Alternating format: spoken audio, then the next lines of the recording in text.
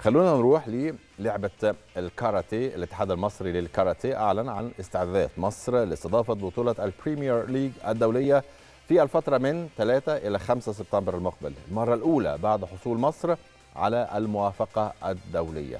الاستعدادات بتتم على قدم وساق لاستضافة واحدة من أقوى البطولات الدولية عن طريق التنسيق ما بين وزارة الشباب والرياضة واللجنة الأولمبية لمراجعة كل التفاصيل الخاصة بالتنظيم والعمل على خروجها في أفضل صورة ممكنة. طبعا كعادة مصر في تنظيم البطولات الكبرى.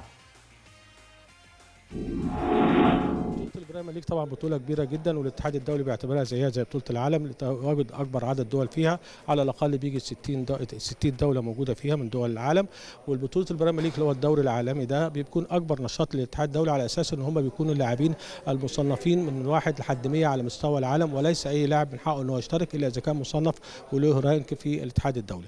We chose uh, we chose this city this uh, country because uh, لقد قمنا باختيار مصر لاستضافة هذه البطولة العالمية لأن الاتحاد المصري للكاراتيه واحد من أقوى الاتحادات الموجودة.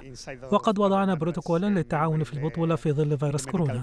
وتحدثت مع أحد أعضاء اللجنة الطبية بشأن حركة الوفود المشاركة وأماكن الإقامة ومتأكد أن كل شيء سيكون آمنا للغاية.